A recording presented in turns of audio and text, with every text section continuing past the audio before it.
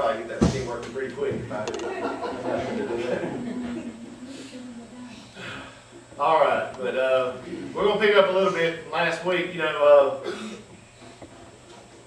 you know, science is not my subject. You know, I, I do good just to try to study history enough to teach it. But, uh, but, but like I said last week, my big thing is, at least in science, you should, in science classroom, you should teach science. You know, you shouldn't teach uh, a religion and say that it's science. You know, we, there, uh, like I said last week, I don't believe we could ever prove creation happened because I don't believe it was meant to be proven. That's where uh, faith comes in. You know, our whole uh, salvation is based on grace through faith.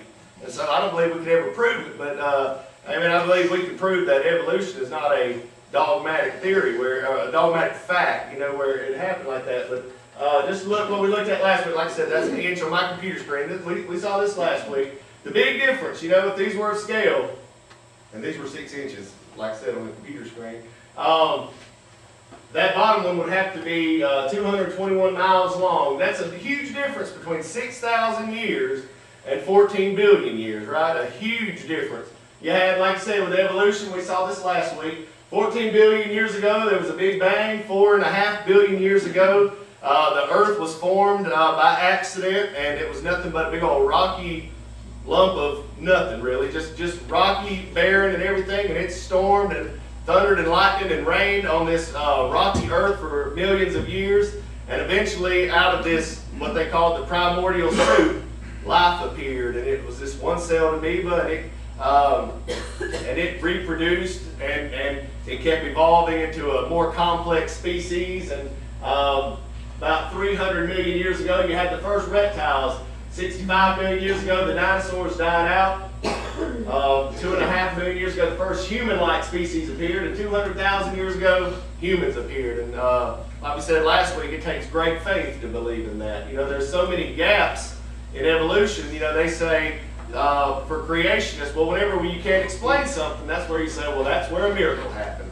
They say, well, that's not science. Well, it's not science what they say either. There's so many gaps in there that they can't explain. Like we said last week, and ours is so much simpler. Look at this.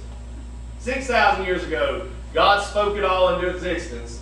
4,500 years ago, there was a great flood. 2,000 years ago, uh, Jesus was born uh, in the flesh. That's a lot simpler the way we believe that, but that's a huge difference, right? 14 billion years, 6,000 years. 6,000 years doesn't even begin to compare to 14 billion years ago. So somebody's wrong. You know, I mean, it's not just a little, uh, little slight difference. Somebody is wrong. But one of the big issues that we talked about, uh, I mentioned this at the end last week, is dinosaurs. Where did they fit in? You know, um, dinosaurs have become a huge problem to people who believe in creation and believe in God's Word. And it shouldn't be so. God created the dinosaurs, and the Bible says that uh, all of God's creation, that the heavens declare the glory of God. You know, that all His creation should declare His glory. It shouldn't be used against Him. I mean, He, he created them, and so I think He knows when they were created. But if dinosaurs, uh, if dinosaurs lived for, uh, uh they ruled the earth for about 140 million years, the evolutionists say.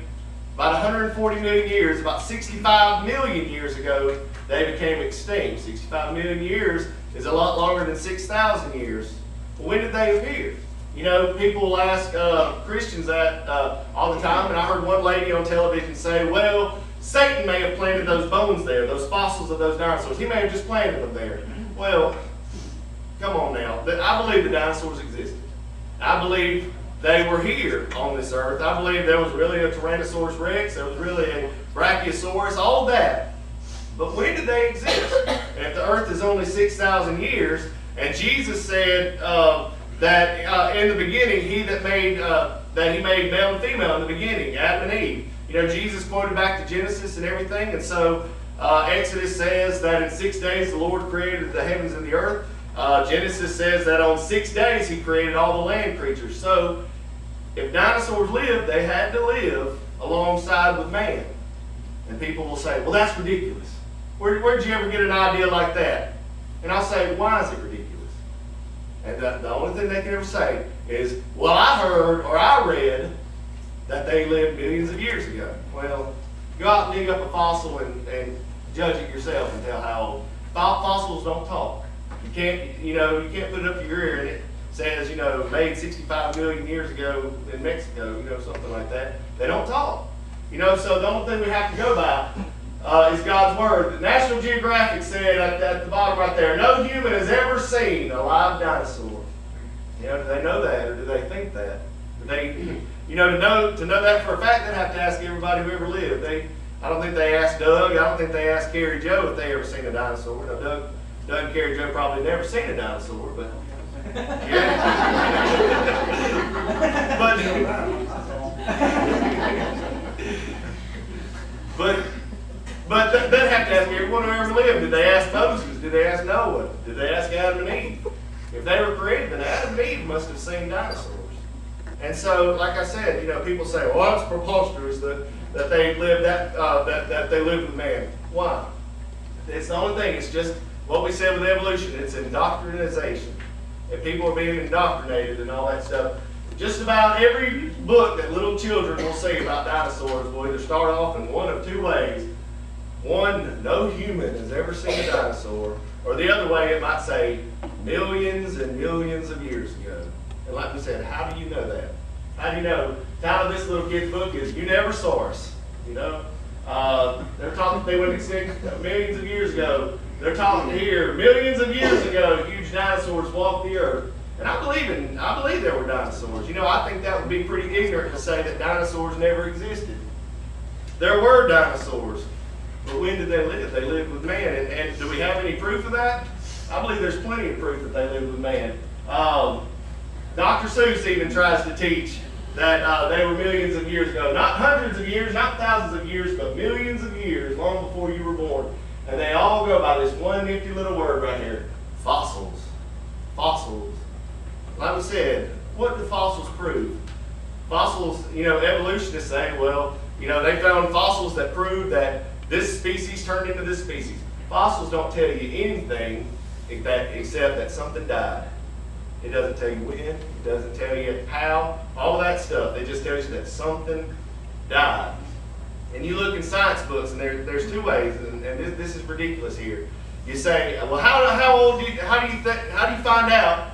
How do you know how old a fossil, a bone is? And they'll say, well, we know that by what layer of dirt we find it in, what layer of strata we find it in. Flip over the page in your science book, and it'll say, how do you know how old the strata is, how old the dirt is? Well, we know how old that is by what bones we find in there. Now, hang on, think about that. We know how old the fossils are by what, where in the dirt they're found. We know how old the dirt is by what fossils are found there. That's what you call circular reasoning. That, you know, that's coming up with a test that only proves what you believe anyway. You know, you can sit there, like, like you can take God's word and make it say whatever you want it to say if you take it out of context. But you know, the whole thing with dinosaurs, and there probably are things out there that, that may point to them being millions of years old, but there's plenty of things that point to them being within the last 6,000 years. You know, it's like if you find a, a, a sunken ship and you want to know, when did this ship sink? And there's there's treasure in the treasure chest and everything in the ship. You don't go through that uh, chest and find the oldest coin that's buried there. You go through and find the youngest coin there because obviously, if the youngest coin, the ship couldn't have sank, you know, before that date. You know, and it's the same thing here. There's so much evidence that proves that they uh, didn't live that uh, that long ago. Billy Graham, and, and I love Billy Graham. I love Billy Graham, but he had it wrong here completely. He, he's one of those who believes in one of those theories I was talking about last week. Uh, you know, they asked him, were there dinosaurs on Noah's Ark? He said, no. Uh, Noah's Ark apparently did not include dinosaurs. The reason is because dinosaurs and similar ancient creatures that we know only from fossils were extinct by the, by the time God created the earth. Now hang on. That's Billy Graham. Now, I like Billy Graham, but that's wrong. It's going back to what we talked about last week, the gap theory and the day-age theory, where people thought that in that gap theory there was millions of years before, between Genesis 1-1 and 1-2, and that, that's where all the dinosaurs lived and they died off. But the biggest problem with that is that puts death before sin, which is a huge heresy in God's Word. The Bible says in, in, in 2 Corinthians, the Bible says in Romans, that sin brought death into the world. If death happened before sin, then that means God was the author of death. And he's not. You know, the Bible said that sin came into this world because man sinned. So Billy Graham had it wrong. So I do believe there were dinosaurs on the ark. But then what happened to them? You know, uh, I believe they were on the ark, and I believe the Bible talks about dinosaurs. Okay, we'll, we'll get to that. But uh, I believe uh, there was a firmament and everything that we've talked about in Genesis that that the atmosphere was completely different before the age of the flood. I believe the world we're living in today is just a dump compared to what it used to be before the flood. I believe it was pretty nice before the flood. But compared to what the way it is now to the way it was before then, I believe it's completely different. I believe many of them died off after the flood. And the worst thing, is, the, the, the second thing, I believe uh, they were probably hunted off. And we'll look at this. And they, you know, you may think, well, this, this sounds ridiculous, but hang on. We'll look at this, okay? All right. I took, I took a picture of Jimmy after he went. Jimmy's not here.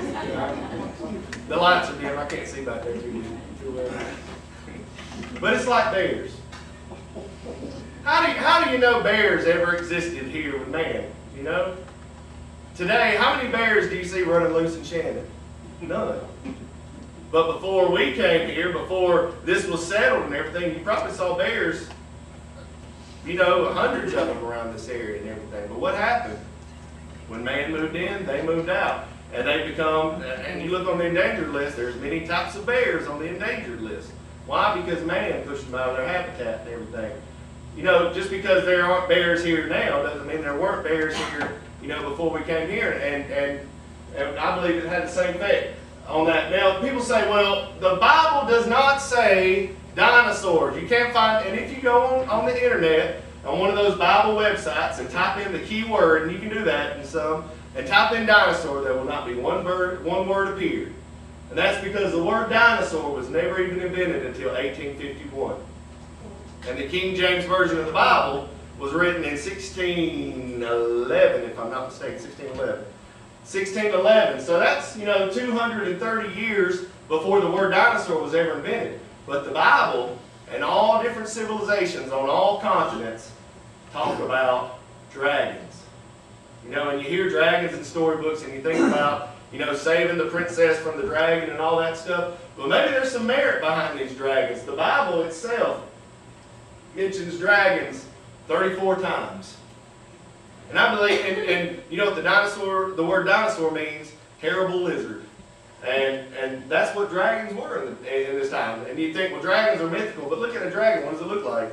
It's like a dinosaur, you know. Uh, but uh, but uh, a lot of uh, things you can read uh, ancient uh, scripts and, and, a lot of history books and, and medieval storybooks and everything talk about killing these dragons for meat because they're a menace, to be a hero, to prove superiority, competition. And medicinal purposes, there are so many uh, recipes from um, a couple thousand years ago that call for a dragon's heart or uh, a dragon's toenail or things like that. You, you, you hear about that, you, are thinking of like Shrek or some storybook that you read at night, but these were actual recipes that called for uh, something of a dragon, uh, dragon's blood to be used as medicine and everything, and all, all this old stuff. And why would that be if there was no such thing as some kind of dragon? All right, the Epic of Gilgamesh that's read in schools talks about him slaying a dragon. All these. Alexander the Great, which is actual history studied uh, in 8th, uh, you don't get an Alexander the Great in 9th grade, that, that's in uh, 8th grade history. Uh, it talks about when they were conquering part of what's now India and everything, that them being scared off by the dragons in the cave and, and such as that. And there's dragons all throughout uh, history. Viking ships were created after this. Where did they get the image for that if, if man had never seen a dinosaur? Uh, and look at this. Uh, David, cut the lights up just a little bit and everything. If you have your Bibles, I want you to look at this with me, okay?